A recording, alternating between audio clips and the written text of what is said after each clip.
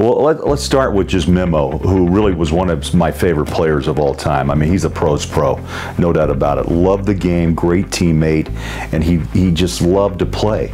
And it, it, was funny how all this thing kind of came about. One night, out of nowhere, as, as a broadcaster, uh, Memo hits a big three. Uh, early, early in my career, by the way, when I was just starting with the Jazz, and I think I just spouted out something like, "Oh, that's money." Left hand dribble, hands off to Memo for money. Yes! Cash it in the bank. Can't get any bigger than that and the money man was born. I mean, that's just how simple it is because he backed it up more than once. It was like every time. Memo was in a hot streak for a couple of years that anytime he touched the ball, you knew it was going in. And so the money man was born, and it was a blast to watch watch him play the game. He loved it. Uh, he loved the stage. He loved the fans.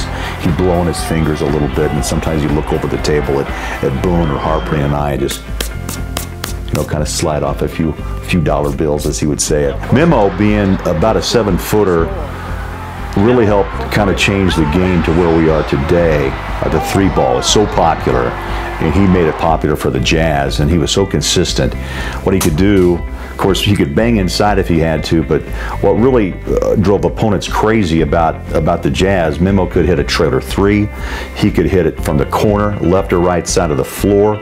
And the thing is, it, they had to respect his game so much, it helped spread the floor, open the floor, and allow the Jazz to work freely inside more because the big man was a threat every time he touched the ball. It was a fun time to be a Jazz fan when Mehmet Okur was dressed up in, in the uniform and doing his, his, uh, his money show. A great story one night, uh, the great late Larry Miller came up to me and said, You know, Boler, um, I tell you that Memo Money name, you know, is something else. I'm never going to tell you what to call him, but and, and he kind of lasts. But you know, his contract's up at the end of this year, and this money thing may cost cost me money.